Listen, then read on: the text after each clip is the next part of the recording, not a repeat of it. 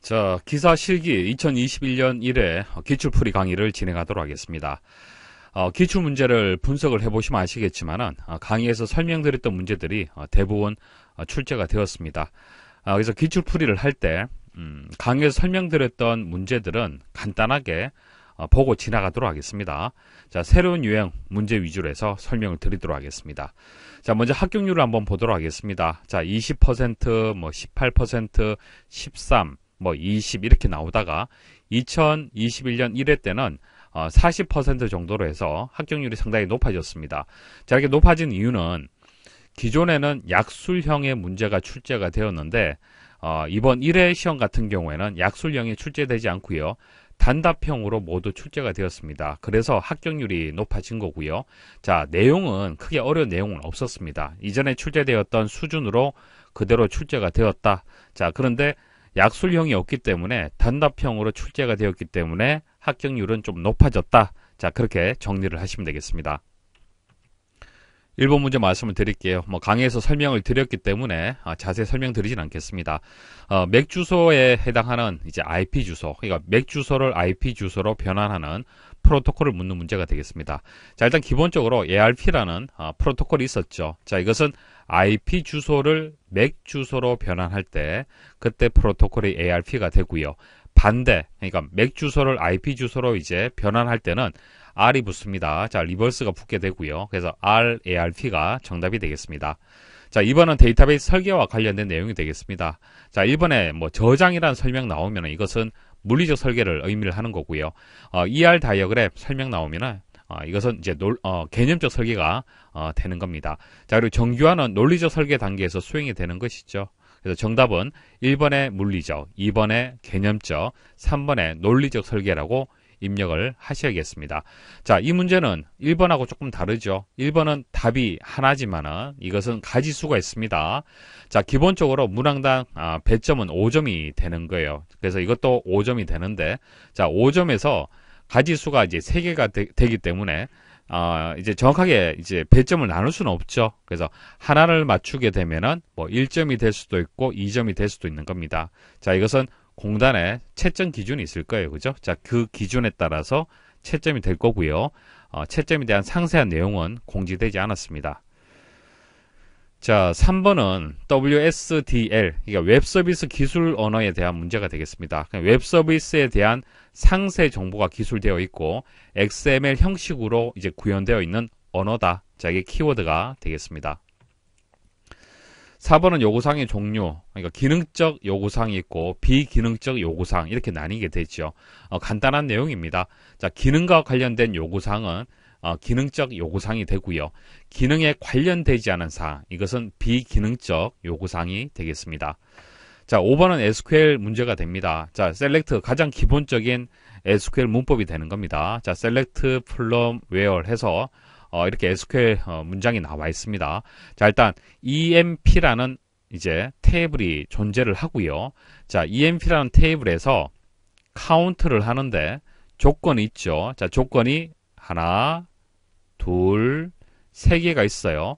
자, AND, OR로 연결이 되어 있습니다. 자, AND는 동시에 만족을 해야 되는 거예요. 그래서 EMP NO. 자, EMP NO가 100을 초과한다. 100이 그러니까 포함이 안 되죠. 등호가 없습니다. 그렇기 때문에 자, 이 두 개의 튜플이 해당이 되는 거고요. 자, 셀 값이 3000 이상이다. 자, 그 중에서 AND라고 되어 있기 때문에 동시 만족이죠. 자, 3000 이상이다. 자, 그럼 이거 안 되고 이것도 안 되고 두 번째 튜플만 해당이 되죠. 자, 그다음 5화해서 EMPNO가 200이다. 자, EMP, 어, EMPNO가 200인 것도 추가가 되는 건데 어, 중복이 됐죠. 그렇기 때문에 두 번째 튜플만 해당이 되는 겁니다. 자, 이것을 카운트를 하게 되면은 결과는 1이 되겠죠. 자, 그런데 이것을 실행을 하게 되면은 결과는 이렇게 어, 테이블 형태로 해서 이제 출력이 됩니다. 자, 속성명이 정확하게 어, 이제 명시되지 않았기 때문에 어, 이때의 카운트를 그대로 자, 속성명이 입력되는 부분에 입력이 되고요. 그리고 그 결과 1이 이렇게 출력이 되는 겁니다. 자, 근데 여러분들 작성을 할 때 뭐 이렇게 작성해도 되지만은 그냥 1 이렇게 입력을 해도 정답으로 인정이 됩니다. 6번은 파이썬 문제가 되겠습니다. 자, 실행 결과를 쓰시오. 자, 소스 코드를 주고 실행 결과를 작성하는 어, 그런 문제가 되겠습니다. 자, 정답은 이렇게 되는 거고요. 일단 여러분도 스스로 어, 일단 컴퓨터 화면 멈추시고 자, 강의 화면 멈추시고 스스로 한번 어, 한번 풀이를 해 보십시오. 자, 간단한 문제죠. 어려운 문제는 아닙니다. 자, 여기서부터 여기까지가 음, 클래스를 정의를 하고 자, A라는 리스트에 값을 저장을 하면서 선언을 하는 어, 초기화하는 어, 그런 부분이 되겠습니다. 자, 서울부터 시작을 해서 도시명이 자, A라는 리스트에 저장이 되어 있는 상태가 되고요. 자, str01이라는 변수에는 빈 문자열, 공백이 입력이 되어 있습니다. 자, 공백이 이렇게 입력이 되어 있는 상태가 되고요. 자, 그다음 for문이 나왔습니다. 자, for문. 자, 이거 해석을 잘 하셔야겠죠. 자, 이 for문의 형식은 for 변수 in 리스트. 자, 이런 형식을 가지고 있고요. 그다음 명령문이 나오는데 이 명령문을 반복을 수행을 하는데 리스트에서 리스트에서 각각의 요소 자, 첫 번째 요소, 두 번째 요소, 각각의 요소를 가지고 와서 그 요소를 변수에 저장을 하면서 반복하는 아, 그런 for문이 되겠습니다. 자, 그래서 여기 보시면은 arr.a라고 되어 있죠. 그러니까 a 리스트를 의미를 하는 겁니다. 자, a 리스트에서 자, 요소를 하나 가지고 옵니다. 자, a 리스트의 첫 번째 요소의 값은 뭐죠? 서울이 되는 거예요. 이것을 가지고 오는 겁니다. 자, 가지고 와서 i에 저장을 하는 겁니다. 자, 그리고 아래쪽으로 반복 수행을 하는 것이죠. 자, 우변을 먼저 계산을 해야겠죠. 자, 우변에 str01. 자, 이것은 공백이 되는 거고요. 빈 문자열이 되는 거고요. 자, i의 0번째. 자, i는 서울이 되는 거고요. 그때 0번째는 뭡니까? s가 되는 거죠. 자, s.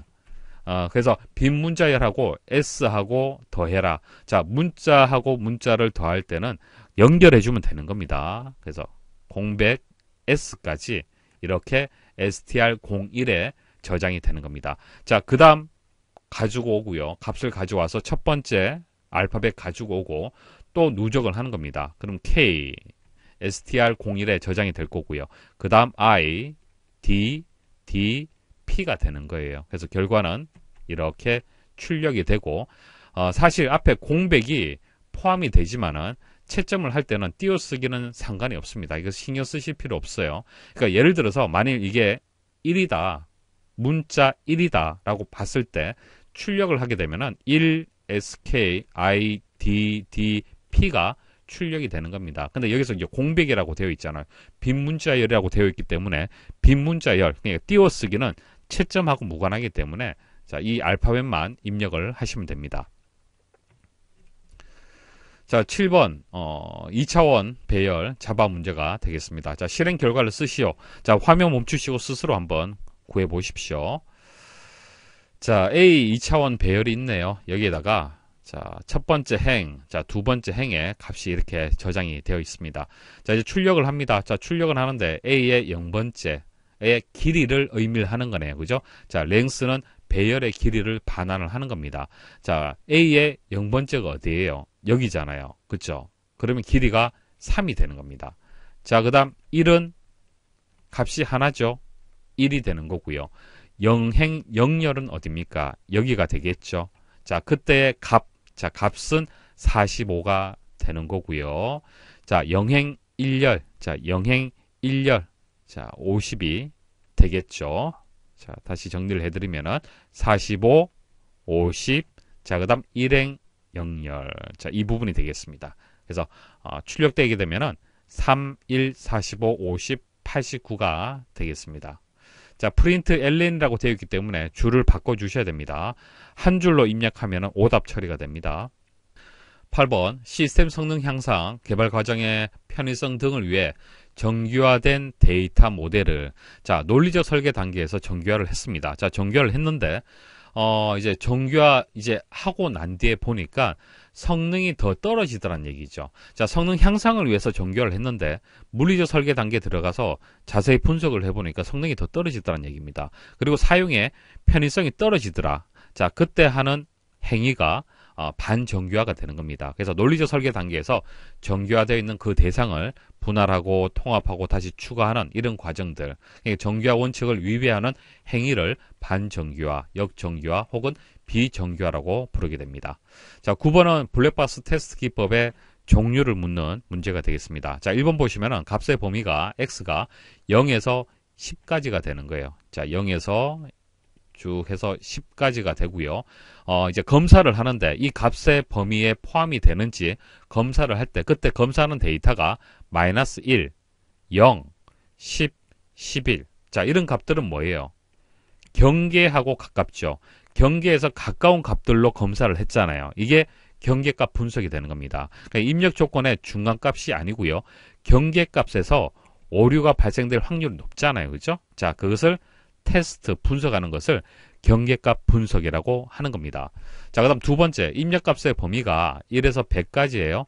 여기서 유효값 그리고 무효값 자, 이런 값들이 있죠. 나누어서 검사하는 거. 이것을 동치 분할 검사, 동등 분할 검사라고 얘기를 하는 겁니다. 그러니까 입력 자료에 초점을 맞춰서 테스트 케이스를 만들고 이제 검사를 하는데 유효값 그리고 어 이제 무효값으로 이제 분할을 해서 어 그렇게 테스트 케이스를 만드는 어 그런 방식이 되겠습니다. 자, 10번은 테스트 종류 어 이제 묻는 문제가 되고 1번 보시면은 개별 모듈 자 구현되어 있는지 어, 그리고 모듈 테스트라고 부른다. 이게 뭐예요? 단위 테스트를 묻는 문제가 되는 거고요. 자, 2번은 어, 각 모듈, 자, 각 인터페이스 간의 상호작용이 정상적이냐.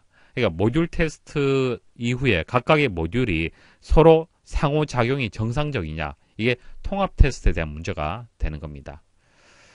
자, 11번은 IPv6하고 V4의 어, 비트 수를 묻는 문제가 되겠습니다. 일단 V6는 128비트가 되고 V4는 32비트예요. 자, 기본적으로 암기를 하셔야 되고 어, IPv6는 16비트씩 총 128비트로 구성이 되어 있다. 자, 보시면은 16, 16, 16, 16 해서 자, 이런 식으로 구성이 되는 거고요.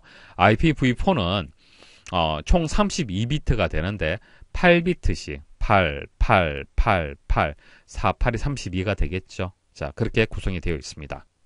12번 기업에서 운영되는 서로 다른 어, 플랫폼, 애플리케이션 간의 정보 전달, 연계, 통합을 가능하게 해주는 솔루션이다. 자, 크게 point to point, hub and spoke, 메시지 버스, 하이브리드 형태로 해서 아, 분류가 될 수 있다. 뭐 설명 다 나왔죠. EAI가 되겠습니다. 13번 실행 프로세스 간의 통신을 가능하게 하는 기술이다. 자, 정답은 IPC가 정답이 되겠습니다. 자, 프로세스 간의 커뮤니케이션, 통신하는 기술을 의미를 하는 거예요. 자, 정의를 말씀을 드리면은 컴퓨터 프로세스 간의 통신을 의미하는 용어가 되는 거고요.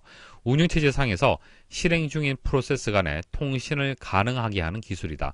자, 프로세스 1, 프로세스 2, 프로세스 3이 있으면은 자, 각각의 프로세스가 서로 통신할 필요가 있는데 그 기술이 IPC란 얘기예요. 자, 이 기술의 어, 이제 주요 기법들이 나오는데 어, 크게 공유 메모리 기법이 있고 메시지 전달 기법이 있어요. 그 중에서 메시지 전달 기법은 시그널, semaphore 파이프, 소켓 등이 있습니다. 자, 각각에 대해 설명 좀 드리도록 할게요.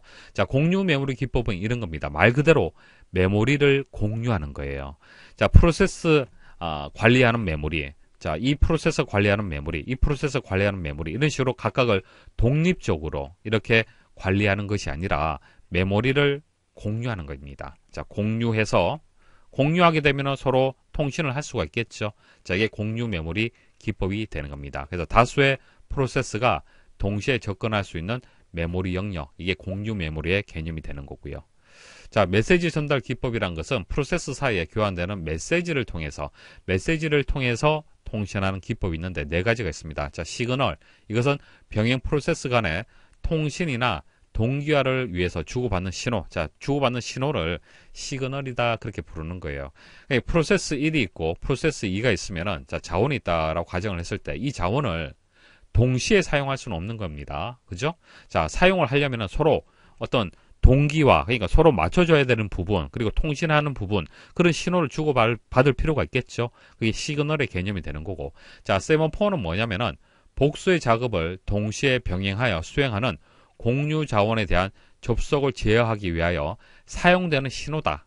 그러니까 세마포의 의미가 신호기, 뭐 깃발의 의미를 가지고 있죠. 그러니까 이런 겁니다. 만약 이게 화장실, 공용 화장실이라고 가정을 하게 되면은, 자, 공용 화장실에 불이 들어온다라고, 어, 사용 중이라는 이제 불이 들어온다고 가정을 하겠습니다. 이게 하나의 신호가 되는 거예요. 깃발, 신호기가 되는 겁니다. 자, 그럼 P1이 이 자원을 이용한다, 이 화장실을 이용한다라고 하게 되면 사용 중이라는 표시가 나오겠죠. 그럼 P2는 기다려야 되는 겁니다. 자, 그 다음 나오게 되면 P2가 사용하는 그런 방식이 세마포어 방식이 되는 거예요. 그래서 공유 자원을 동시에 사용할 수 없을 때 한 프로세스가 사용하고, 사용하고 있는 동안 세마포어를 세워, 자, 깃발을 세워, 신호기를 세워, 다른 프로세스를 대기시키고 사용이 끝나면 해제시키는 방법으로 사용할 수 있는 그런 기법을 세마포어라고 부르게 되는 겁니다. 자, 파이프는 한 프로세스의 출력, 자, 프로세스의 출력 값이 있죠. 그것을 다른 프로세스에 입력으로 사용할 수 있도록 연결하는 어, 개념이 되고, 뭐, 소켓은 강의 중에 말씀을 드렸죠. 자, 소켓은 전화기라고 생각하시면 되고, 소켓을 생성을 하고, 그 다음 포트, 전화번호를 할당하고, 자, 클라이언트에게 요청을 해서 연결하는 방식으로 통신하는 것을 의미를 하는 겁니다. 14번 학생 테이블에 자 학생 테이블에 cardinality와 degree를 차례대로 쓰시오. 자 cardinality의 키역 생각하시면 됩니다. 행을 의미를 하는 것이죠. 그래서 하나 둘 셋 넷 다섯 자 5가 되고 자 디그리 자 D 생각하시면 됩니다. 하나 둘 셋 넷 자 4가 정답이 되겠습니다. 자, 15번 데이터 모델의 이제 구성 요소를 묻는 문제가 되겠습니다. 자, 세 가지가 있었습니다. 연산, 구조, 제약 조건이 있죠. 그래서 뭐 암기를 하실 때 제약 조건, 연구 뭐 이렇게 암기를 하셔도 되고 일단 세 가지 기억을 하셔야 되고 어, 각각의 이제 정의는 뭐 크게 뭐 내용이 어려운 것은 없습니다. 자, 연산은 실제 데이터를 처리, 자, 처리하는 방법에 대한 명세가 되는 것이고요.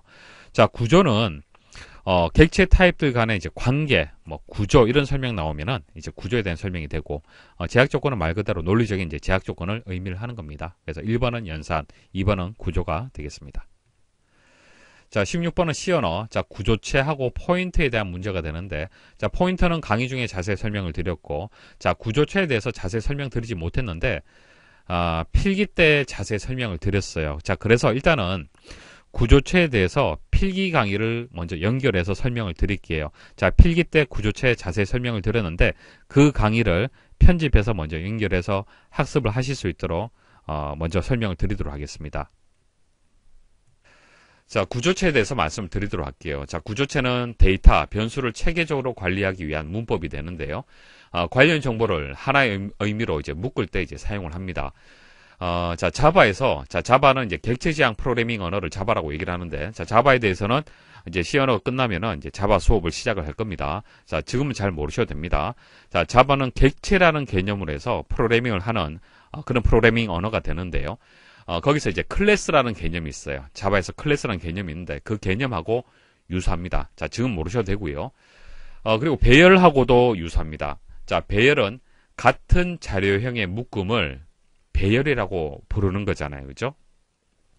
자, 캐릭터에서 A 10개짜리다. 이런 식으로 배열을 정의를 합니다. 그죠?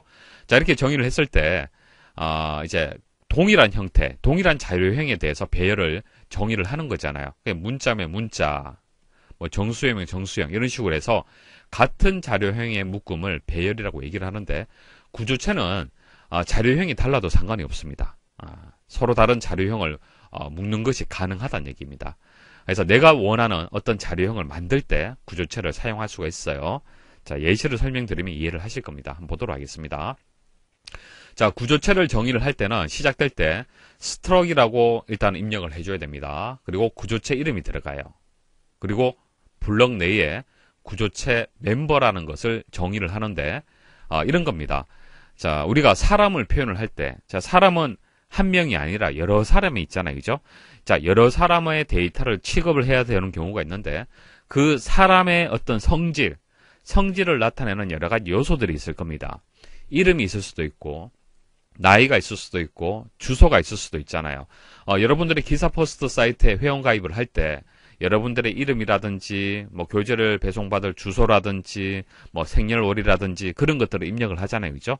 자, 그 값들은 여러분들을 식별할 수 있는 정보가 되는 거예요. 자, 이런 정보들을 하나로 묶는 겁니다. 자, 묶게 되면은 사람이라는 어떤 특징으로 공통성을 가지면서 묶을 수가 있겠죠. 이게 구조체의 개념이 되는 겁니다. 어, 그래서 예시 보시면은 person에서 자 character name 50. 자 name은 문자 열이 되겠죠. 그래서 이렇게 배열로 정의를 했고요. 그 다음 int age 나이. 자 address 주소 자, 100개로 이렇게 정의를 하는 겁니다. 서로 자료형이 좀 다르잖아요. 그죠? 정수형도 있고 문자형도 있습니다. 근데 상관이 없다는 얘기예요. 서로 다른 자료형도 묶어서 정의를 할 수가 있습니다. 자, 이렇게 구조체를 하나 정의를 하게 되면은 아, 사람에 대해서 A라는 사람도 있을 거고요. B라는 사람도 있을 거고요. C라는 사람도 있을 거 아닙니까? 각각의 사람에 대해서 프로그래밍 하기가 데이터 관리하기가 쉬워요. 어, 그리고 여기 보시면은 이제 구조체 이름을 대문자로 다 사용을 했는데 이것은 관례입니다. 어, 대문자로 꼭 사용을 해야 된다. 그런 것은 아닌데, 어, 우리가 프로그램 코딩을 할 때 여러 프로그래머들이 이제 같이 작업을 하잖아요. 그죠? 한 사람만 프로그래밍을 하는 것은 아닙니다. 어, 팀 단위로 해서 진행을 하기 때문에, 어, 서로 약속된, 그러니까 관례로 사용하는 부분이 있습니다. 구조체는 어, 전체를 대문자로 입력을 하자. 자, 그렇게 일반적으로 약속을 합니다. 아, 그래서 대문자로 이렇게 정의를 했는데 이것은 문법적인 것은 아니다. 그러니까 이렇게 소문자로 입력을 해도 되고 대문자로 입력해도 상관없습니다. 결과하고는 상관이 없는 겁니다. 관례로 그렇게 사용을 하고 있습니다. 자, 구조체 어, 예시 코드 말씀을 드리겠습니다. 자, 코드 보시면은 아, 이런 경우에 구조체를 이용을 하는 거구나 아, 이해가 되실 겁니다. 자, include 해서 stdio.h 그리고 string.h 자, 두 개의 헤더 파일을 include를 했습니다. 어, stdio.h 어, 이제 헤더 파일을 호출을 해야만 그게 include를 해야만 printf라는 함수를 사용을 할 수가 있습니다. 그리고 string.h 자, 이 헤더 파일은 어, string copy라는 함수를 사용하기 위해서 먼저 가져온 것이죠. include를 했습니다. 자, 이렇게 해서 이제 처리가 된 상태고요. 어, 구조체 정의하는 부분 보도록 하겠습니다. 자, 구조체 정의할 때는 스트럭 해서 구조체 이름이 어, 들어가는 겁니다. person이라고 들어갔고요. 그때 멤버, 자 멤버는 두 개가 있습니다. 이렇게 두 개가 이름과 나이가 이렇게 정의가 되었고요. 어, 이렇게 해서 이제 구조체를 하나 정의를 했어요. 자 그럼 정의하고 난 뒤에 이것을 이용하면 되겠죠. 자 이용하는 방법 여러 가지 있습니다. 일단 유현진, 뭐 김연아, 어, 뭐 박지성, 페이커, 자 이런 사람에 대해서 구조체를 이용을 해서 한번 어, 이제 선언을 해보겠습니다. 값을 한번 저장을 해서 어, 출력도 하고 그런 과정 한번 설명 한번 드려보도록 할게요. 어, 일단은 이제 구조체 변수를 선언하는 부분 말씀을 드릴게요. 자, 여러 가지 방법이 있는데 첫, 첫 번째 방법은 위에서 정의한 이 구조체를 이제 가지고 와서 변수로 만드는 겁니다. 스트럭 person에서 p1 이렇게 정의하게 되면은 자, p1이라는 구조체 변수가 하나 선언이 된 겁니다. 하나 만들어진 거예요. 그러니까 위에서는 어떤 형식, 틀을 만든 거고요. 구조체라는 틀, 그러니까 이름, 나이, 자, 이름과 나이에 대한 어떤 틀을 만든 겁니다. 틀을 만든 거고, 자, 이 틀을 이용할 변수, 자, 변수가 P1이 되는 거예요. 이것을 구조체 변수라고 하는 겁니다. 자, 우리가 일반적인 변수 한번 생각을 해 보십시오. 일반적인 변수도, 자, int 해서 a, 이렇게 정의를 하잖아요. 그죠? 자, 이게 변수명이죠. 자, 이건 변수의 자료형이 되는 거잖아요. 자, 동일한 형식입니다. person이 어떤 자료형의 어떤 역할을 하는 겁니다. 구조체가 되는 거고요. p1은 변수, 구조체 변수가 되는 거예요. 자, 이와 같이 정의, 어, 선언하고 값을 입력을 하잖아요. 그죠? 자, 동일한 형태로 해서 구조체 변수의 값을 또 저장하면 됩니다. 자, 중괄로 해서, 어, 이제 멤버가 네임하고 어, age가 되는 거죠. 어, 이름하고 이제 나이가 되기 때문에 이름은 류엔진이 되고 나이는 30이다. 그러면 이 값이 이렇게 name과 age에다가 값이 저장이 되는 겁니다.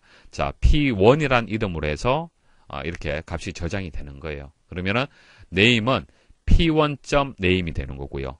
age는 p 아, p1입니다. 죄송합니다. p1.age가 되는 겁니다. 그래서 요 멤버, 각각의 멤버를 표현할 때는 자, 점이라는 구분자를 이용을 해서 앞쪽에는 구조체 변수, 자, 점 다음에는 멤버명 이렇게 어, 정의를 하시면 되겠습니다. 자, 그리고 어, P2. 자, P2에는 이제 김연아를 저장을 할 겁니다. 어, 또 다른 방법 설명을 드릴게요. 음, string copy 함수를 이용할 수도 있습니다. 자, string copy를 이용을 해서 자, name이라는 이제 어, 문자 배열이 되겠죠. 자, 문자 배열, 그러니까 문자열을 저장을 할 때는 어, 이제 선언을 할 때, 선언을 할 때 초기화를 바로 해줘야 된다. 그렇게 말씀을 드렸잖아요. 자, 그런데 미리 이제 정의가 되어 있는 상태고, 자, 이렇게 정의가 되어 있는 상태고, 값을 그 뒤에 저장을 해야 되기 때문에, 그때는 string copy라는 함수를 이용할 수밖에 없습니다. 그래서 p2.name, p2.name 하고, 그 다음 쉼표하고, 김연아 하게 되면은, p2.name에, 자기 p2.name이 되겠죠. p2.name이 되는 겁니다. p2.name에 김연아가 저장이 되는 거예요. 자, 그다음 p2.age 하게 되면 20, 여러분 20이 여기 저장이 되는 겁니다. 이건 p2.age가 되는 거예요. 자, 또 다른 방법 보도록 하겠습니다. 자, 이것도 함수 형태로 해서 정의할 수가 있는 겁니다. 자, 우리가 일반 변수로 어, 변수를 정의할 수 있고 그리고 배열로 어, 정의할 수도 있잖아요. 그죠? 동일한 겁니다. 그래서 person에서 p3 배열 사이즈는 2가 된다. 어, 그러면 이제 두 개의 값들을 이제, 어, 저장할 수가 있겠죠. 박지성 3시, 페이커 2시. 자, 심표로 해서 이렇게 구분해서 저장을 해주면 됩니다. 그럼 P3라는 함수, 이게 함수가 되겠죠. 함수에 박지성, 페이커 이렇게 저장이 되고, 어, 위치, 첨자, 인덱스 값은 0이 되고, 이것은 1이 되는 겁니다. 0부터 시작을 하죠. 자, 이게 이제 구조체 변수를 선언하고 그 값을 이제 초기화를 하는 그런 과정이 됐습니다. 아, 이제 printf에서 이제 출력을 하면 되겠죠. 자, 이름 %s string이 되겠죠. 자, 문자 열로 출력을 하는데 자, 이게 %s에 이제 출력이 되는 거고요. 자, 심표를 잘 보시면 됩니다. 첫 번째는 어떤 형식이 되는 거죠. 자, 양식이 되는 거고요. 포맷이 되는 거고요. 자, 그 다음 p1.age는 여기에 자 퍼센트 %d에 출력이 되는 겁니다. 그래서 이름 콜론 이름 콜론 그다음 p1.name은 유엔진이 되죠. 유엔진 p1.age는 30이 되는 겁니다. 자 이게 원이 되는 겁니다. 30 출력이 되고 자 나머지도 동일한 방식으로 출력을 해주면 됩니다. 자 그리고 여기 보시면 원 표시가 되어 있는데 원 표시가 이제 역슬래시입니다. 역슬래시 n 자 커서를 다음 줄로 이동을 해라. 아, 우리가 한글 키보드를 사용을 하잖아요. 그죠? 그 한글 키보드를 사용을 하, 면은 역슬래시가 아, 원기호로 이제 표시가 되는데 같은 의미를 가지고 있습니다. 상관이 없어요. 소스 코드 보시면은 역슬래시로 해서 이렇게 나오는 경우도 있고 자 이렇게 나오는 경우도 있는데 같은 겁니다. 자 그다음 두 번째 P2에 대해서 출력을 해 주고 자 P3에 대해서 출력을 할 때 박지성만 출력을 했네요. P3에 0번째 P3의 0번째 각각의 아, 멤버 값을 출력을 한 겁니다. 구조체와 관련된 문법 하나만 더 설명을 드리겠습니다. 어, type def라는 어, 문법 키워드가 있습니다. type define을 의미를 하고요. 그래서 타입을 정의한다. 다시 정의한다. 그런 뜻을 가지고 있습니다. 어, 자료형 이름의 길이가 긴 경우 프로그래머가 짧고 간결하게 자료형을 재정의할 수 있는 그런 이제 문법 키워드가 되겠습니다. 자, 예를 들어서 템프라는 변수를 정의를 하는데 자, 템프라는 변수를 이제 선언하는데 자, 이 자료형이 부호가 없는 정수형이에요. 자, unsigned int라고 해서 자, 이 부호가 없는 이제 정수형을 템프라는 변수로 해서 정의를 했는데 이게 계속적으로 필요하더라는 얘기입니다. 그러니까 부호가 없는 정수형을 뭐 A라는 변수, B라는 변수, C라는 변수, 뭐 D라는 변수 이렇게 해서 여러 개의 변수를 어, 이제 이렇게 부호가 없는 정수형을 해서 계속적으로 사용을 하는 경우가 있을 수가 있어요. 그럼 이게 자료형의 이름이 길잖아요. 그죠? 자, 길기 때문에 어, 이제 프로그래머가 좀 짧고 간결하게 아, 정의할 수 없을까라고 해서 만든 것이 typedef가 되는 겁니다. 자, 오른쪽에 보시면은 typedef에서 해당 이제 데이터 타입을 입력을 하고요. 자, 그것을 이제 재정의를 하는 거죠. 그래서 KWS라고 재정의를 하는 겁니다. 그러면 KWS라는 이름을 해서 그 이후부터는 부호가 없는 인트형을 대신해서 이렇게 정의를 할 수가 있습니다. 그럼 KWSA, KWSB 이런 식으로 어, 이해를 하시겠죠. 그래서 어, 타입 def라는 것은 타입을 재정의한다, 정의를 해준다. 아, 그래서 프로그래머가 좀 더 쉽게 간결하게 코딩을 할 수 있도록 도와주는 그런 문법적인 요소다, 키워드다. 그렇게 기억을 하시면 되고요. 자, 구조체에서는 어떻게 이용을 하냐면은 자, 구조체에서 구조체를 하나 정의하고 난 뒤에 그때 이제 구조체 변수를 선언할 때 struct라는 이제 키워드를 매번 입력해야 되는 부분들이 있죠. 이게 불편하다는 얘기입니다. 자, 이거 입력하지 않도록 할 수가 있습니다. 자, 보세요. 어, typedef에서 struct 하고 구조체 이름이 들어가는데 이건 뭐 생략 가능합니다. 생략 가능하고요. 어, 그래서 typedef에서 struct까지만 입력을 하셔도 됩니다. 자, 입력을 하고 어, 구조체 멤버 자, 여기까지는 동일하죠. 여기까지는 기본 형식하고 동일합니다. 자, 동일하고요. 어, 그리고 블럭 바깥쪽에 어, 이제 사용할 구조체 어, 별칭을 지정을 해주는 거예요. 그래서 아래와 같이 코딩을 하는 겁니다. typedef에서 struct 하고 멤버 입력을 하고 그 다음 person에서 구조체 별칭을 입력을 해주는 거예요. 자 이렇게 입력을 하게 되면은 자 그 이후부터 person이라는 구조체를 사용을 할 때 앞에 아, struct를 생략을 할 수가 있는 겁니다. 그냥 입력하지 않아도 된다는 얘기예요. 자 이런 식으로 해서 좀 간결하게 코딩을 할 수가 있습니다. 자 구조체와 관련해서 아, 추가로 하나 기억을 하셔야겠습니다. 자 이제 소스 코드 말씀을 드릴게요. 자 세 번째 라인부터 시작을 해서 아, 구조체를 이제 정의를 합니다. 구조체를 정의를 하는데 아, 인사라는 구조체를 정의를 할 때 멤버가 두 개가 존재를 하네요. 첫 번째 멤버는 name이라는 문자열 배열이 되는 거고요. 그 다음 두 번째는 정수형 변수 age가 되겠습니다. 그게 이름이 되고 나이가 되겠습니다. 그리고 배열, 구조체 형식으로 된 인사 배열 A가 어, 이제 선언되고 초기화가 되는데요. 김해서 28, 이해서 38 이런 식으로 해서 저장이 되는 겁니다. 아, 김은 첫 번째 멤버에 그 다음 두 번째 멤버, 첫 번째 멤버, 두 번째 멤버, 첫 번째 멤버, 두 번째 멤버 이런 식으로 저장이 되는 거예요. 그래서 결과는 이렇게 되는 겁니다. 그래서 배열 A에 0번지 1, 2, 3 이렇게 해서 저장이 되는 거고요. 그 다음 별표 P라고 되어 있죠. 이게 무슨 뜻입니까? 인사라는 구조체에 포인트 변수를 선언한 겁니다. 구조체 인사를 가리키는 포인트 변수 P를 선언하는 그런 라인이 되는 거고요. 어, 그 다음 A 값을 P에다가 대입을 하라. A는 뭡니까? 배열을 의미를 하는 것이죠. P는 포인트 변수가 되는 것이죠. A 배열의 위치 값을 P 포인트 변수에 저장해라 그런 뜻이 되는데 A 배열이라고 그냥 주게 되면은 A 배열의 시작 위치를 의미를 하는 겁니다. 시작 위치는 A의 0번지가 되겠죠. 그래서 P는 이 위치를 가리키게 되는 겁니다. 이 위치 값을 저장하고 있는 거예요. 자, 그리고 플러스 플러스 하게 되면 1 플러스가 되겠죠. 그 다음 P는 자, 이쪽으로 이동이 되는 겁니다. 자, 그래서 P는 자, 이 위치를 지금 가리키고 있습니다. 포인트 변수가. 첫 번째 printf 한번 보도록 하겠습니다. 자, 출력을 하는데 %s라고 나왔습니다. 문자열이 되겠죠. 자, 문자열을 출력을 한다. 포인트 변수 P에서 자, 이런 기호가 나왔고 name 멤버가 이렇게 입력이 되어 있습니다. 여기서 화살표 연산자가 의미하는 것이 뭐냐면은 구조체 포인트 변수가 자, P가 되겠죠. 구조체 멤버, 그러니까 name이 되겠죠. 자, 이 name, 멤버에 접근할 때 사용하는 연산자가 되는 거예요. 그러니까 P가 자, 이 name에 접근을 해야 되잖아요. 그죠? 접근하기 위해서는 이 기호가 필요하다는 얘기입니다.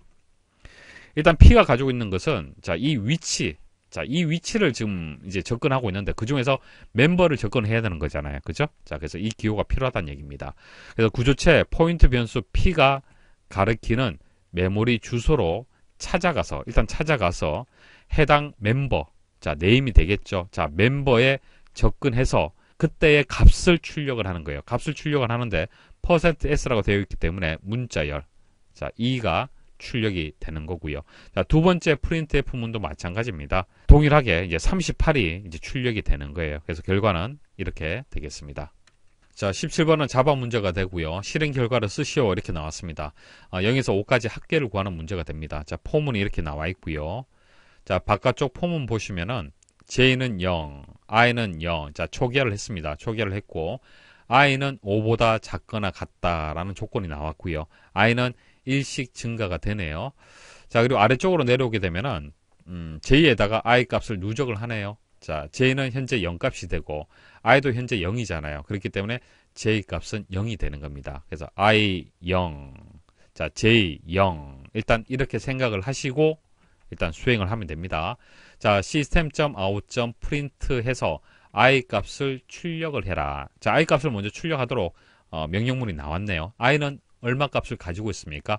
현재는 0이잖아요. 그래서 0이 출력이 되는 겁니다. 이렇게 0이 출력이 되고 그 다음 if문이 나왔습니다. i가 5냐. 자, 5라는 것은 마지막 반복할 때 그때 5값을 가질 겁니다. 자, 일단 벗어나고 else에 가서 자, 더하기 기호가 좀 출력이 되네요. 자, 이렇게 출력이 되겠습니다. 여기까지가 한번 반복을 했을 때 아, 이제 출력되는 결과가 되는 겁니다.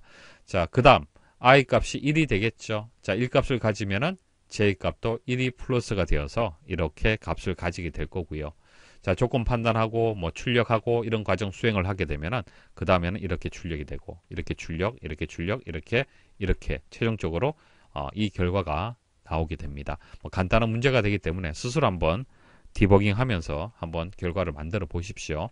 물론 이 디버깅 표는 시험장에서 주어지지 않습니다. 어, 시험장에서는 소스 코드만 주어지죠. 자, 이 소스 코드를 보고 스스로 각각의 변수의 값이 어떻게 바뀌는지를 추적하기 위해서 디버깅 표를 만드는 거예요. 자, 이거 어, 입력할 수 있는 란이 시험지에 있습니다. 그래서 어, 디버깅 표를 한번 만들어서 실수 없이 결과를 입력할 수 있도록 어, 그렇게 문제를 풀이를 하셔야겠습니다. 자, 18번 말씀을 드릴게요. 자, 18번은 접근 제어 방식을 묻는 문제가 되겠습니다. 자, 접근 통제, 접근 제어, 접근 제어 방식 어, 다 같은 뜻입니다. 자, 일단 먼저 개념 설명드리고 문제 보도록 하겠습니다. 자, 접근 통제라는 것은 말 그대로 자, 사용자가 있으면은 자, 데이터베이스 자원이 있으면은 자, 누구나 이 데이터베이스를 이용해서는 안 되겠죠. 자, 권한을 가지고 있는 사람들만 이용해야 됩니다. 그게 접근 통제의 기본적인 개념이 되는 겁니다. 자, 사용자가 특정 데이터에 접근할 때 접근을 요구하는 사용자에 대한 식별 필요하죠. 자, 보안 정책, 자, 이런 것들을 근거해서 접근을 승인하거나 거부하는 행위, 그게 접근 통제 개념이 되는 겁니다. 자, 크게 세 가지가 있습니다. 자, 첫 번째는 임의 접근 통제. 자, DAC라고 부르고요. 자, 임의 접근 통제라는 것은 자원에 접근하는 사용자의 신원에 따라 접근 권한을 부여하는 방식이다. 자, 해당 자원의 소유권을 가진 사람이 다른 사용자가 자신의 자원에 접근하려 했을 때 접근 통제 권한을 지정하고 제어할 수 있다. 자, 우리가 SQL에서 DC, 아, DCL, 그냥 그랜트와 리복을 배웠습니다. 권한을 부여하고 권한을 취소할 수 있었죠. 자, 테이블, 자, 자원이 있습니다. 자, 이 자원을 아, 소유하고 있는 A라는 사람이 있다라고 가정을 할게요. 자, 이 A라는 사람은 이 테이블에 대해서 읽고 쓰고 수정, 자, 모든 권한을 가지고 있습니다. 아, 자, 이 사람이 B라는 사람에게 자, SELECT 권한을 또 줄 수가 있겠죠. 자, 그럼 B라는 사람은 또 C라는 사람에게 SELECT 권한을 또 부여할 수도 있을 겁니다. 자, 이런 식으로 소유권을 가지고 있는 사람이 자, 이 자원을 사용할 수 있도록 다른 사용자에게 자, 자신의 자원에 접근할 수 있도록 접근 통제 권한을 지정하고 제어하는 것을 임의 제, 어, 접근 어, 통제라고 얘기를 하는 겁니다. 여기서 임의의 의미가 뭐냐면은 금방 말씀드렸다시피 자 임의로 권한을 부여할 수 있다 그런 의미가 되는 겁니다. 자 어떤 종류의 접근 권한을 갖는 사용자는 다른 사용자에게 자신의 판단에 따라서 권한을 줄 수 있다라는 것이 여기서 임의의 개념이 되는 거예요. 그래서 임의 접근 통제라고 했을 때 어, 일단 DAC 약어 기억을 하셔야 되고 다른 말로 신분 기반의 정책이다라고 부르기도 하고요. DCL의 그랜트 리복 생각하시면은 이해가 쉬우실 겁니다. 자, 강제 접근 통제 MAC라고 부르고요. 자, 규칙 기반의 정책이다. 그렇게 부르는데, 자, 1번의 임의 접근 통제는 사용자가 중심이죠. 사용자가 중요한 겁니다. 사용자가 권한을 다른 사람에게 주는 그런 개념이 되고, 강제 접근 통제는요, 사용자나 자원, 자, 객체, 자, 데이터베이스의 객체, 뭐, 테이블, view, 이런 것들이 되는 겁니다. 자, 이 자원 모두 보안 레벨, 등급을 부여받아야 돼요. 이게 사용자가 있고, 자원이 있어요. 자원이 여러 가지가 있겠죠. 그럼 사용자도 등급이 1, 보안 등급이 1, 2, 3, 4라고 있을 때 자원도 1, 2, 3, 4 이런 등급이 있다라고 보는 겁니다. 등급 어, 등급을 서로 비교를 해서 그 자원을 이용할 수 있도록 하는 그런 개념이 강제 접근 통제가 되는 거예요. 그래서 보안 레벨, 등급을 부여받아 서로의 레벨을 비교, 자, 비교를 해서 접근 권한을 부여하는 방식이 되는 겁니다. 자, 데이터베이스 객체별로 보안 등급을 부여할 수 있고요. 사용자별로 인가 등급을 부여할 수 있습니다. 그러니까 예를 들어서 주체, 자, 주체는 사용자가 되는 겁니다. 자, 주체보다 보안 등급이 높은 객체, 자, 자원에 대해서는 읽기, 쓰기, 등록 모두 불가능하겠죠. 그러니까 객체가 등급이 더 높은 거예요. 주체보다도. 그러면 접근할 수가 없는 겁니다. 자, 이게 강제 접근 통제의 개념이 되는 거고요. 자, 역할 기반의 접근 통제는요. 사용자에게 할당한 역할, 자, 역할에 기반하여 접근 권한을 부여하는 방식이 되는 겁니다. 자, 회사에 직책이 있죠. 각 직책별로 해서 권한이 부여가 되는 거잖아요. 그런 개념 보시면 되는 겁니다. 자, 그러면은 사용자가 바뀌어도 직책은 그대로 유지가 되죠. 그러니까 A라는 사람이 이 직책을 가지고 있습니다.